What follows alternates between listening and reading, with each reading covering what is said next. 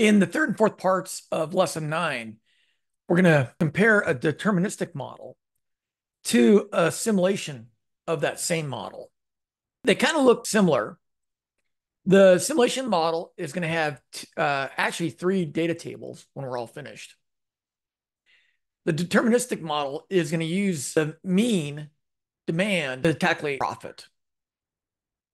So in the deterministic version of the model, we have a bookstore named Walton Bookstore. The number of calendars sold at Walton bookstores appears to be normally distributed with a mean of 200 and a standard deviation of 40. It decides to order 200 calendars. Each calendar costs the bookstore $7.53 and sells for $9.75. At the end of the year, all unsold calendars will be returned to the publisher for a refund of $2.37 per calendar. Is ordering the average quantity of calendars demanded a good decision? Well, in order to answer that, again, we're going to compare this deterministic model to the simulation we do in part four of lesson nine. So the first thing you want to do is want to build the model. And I've already done that over here in Excel in worksheet L3 of lesson underscore unit nine, uh, last name, right? The unit cost of each calendar is $7.53. The unit price is 975. And then we have the unit refund. This is what we can sell them for to our customers. And this is what we can sell them if we have excessive inventory and we sell them back to the uh, publisher. Now, the mean quantity demanded is 200. And we want to know if ordering the average quantity of calendars demanded is a good decision. So this is going to be 200. Now, the demand is just simply 200. The revenue is 200 times the unit price. The cost is the 200 times the unit cost.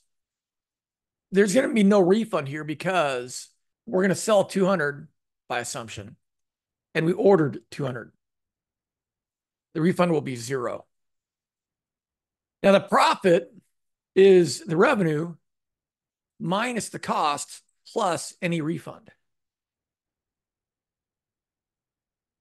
Now let's go over here and see if we got the answers correct. Looks like we got everything right. Now here's the problem with the deterministic model. Some years we sell 200, some years we sell 190, some years we sell 300, some years we sell 100, right? We have this normally distributed variable with a mean of 200 and a standard deviation of 40. More realistically, it's going to look like this.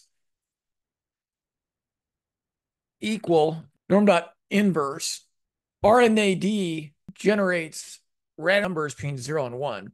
Using this to simulate a probability between 0 and 1, we have the mean and the standard deviation. We can calculate different amounts sold. If I hit F9, I get a quantity demanded that is unique. And these values in cell B9 are normally distributed with a mean 200 and a standard deviation of 40. Now I got to fix my model here, right? When the quantity sold quantity demanded is less than the order quantity, we have excess inventory. And we need to sell that excess inventory back to publisher. And why do we want to do that? Because we'll earn $2.37 for each one that is sold back to the publisher. The refund is going to be the difference between these two times the refunded amount. Now, when I press enter, it's going to change my quantity demanded. But notice that it changed it to a value that is less than the mean of 200, right? So in this situation, I get the refund, I get the revenue, and then my cost is $1,506. So when I add these two together, my total revenue is $1,688.98. If I subtract 1506 from that, I get a profit profit of 182.97. Let me change these decimal places to two. Now, there's a problem with this refund. I can't get a negative refund. Here, demand is 227. I'm selling 227 of these calendars, but I only purchased 200 of them. I can't get a negative refund. So I have to fix the cell here. And the way you fix the cell is the maximum of the refund in case you have excess inventory and then zero. So here, my demand is 100.5 and my quantity supplied is 200. The difference in these two is almost 100. And 100 times 2.37 is roughly that amount, right? So let's hit F9 again. When I have a situation where my demand exceeds my order quantity,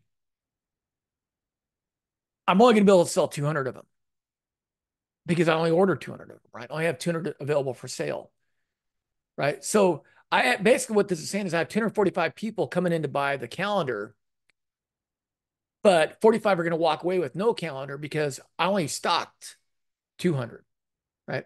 So that's why my refund here is zero now. Now, the revenue is based off of what?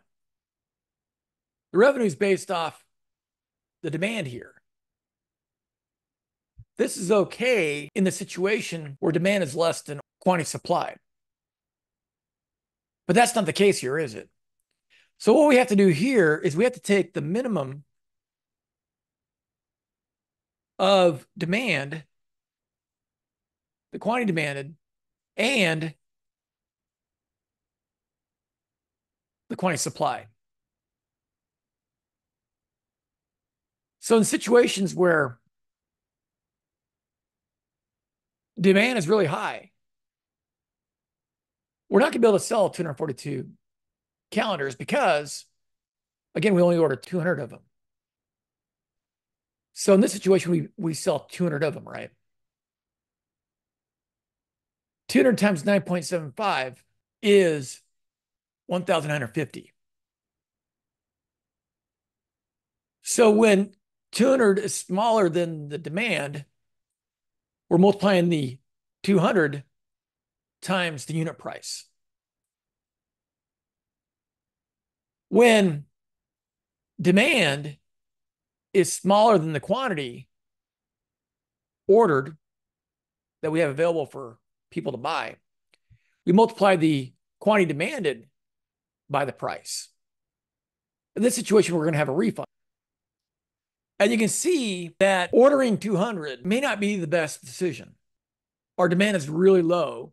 It's lower than what we ordered, what we supplied to our customers, what we stocked on our shelves. In that situation, we have excess inventory. So the difference in these two is our excessive inventory. We got to sell those back to the publisher. When demand is really, really high, we have 300, basically 301 people coming into our store to buy calendars. We only have two to sell. And that represents lost sales of 101 in a given year, you could have demand that's really, really high, maybe not as high, or really, really low. It's going to vary quite a bit around 200. We're going to either have excessive inventory or we're going to have lost sales. Now, is there a better way to determine our order quantity? That's what we're going to do in part four.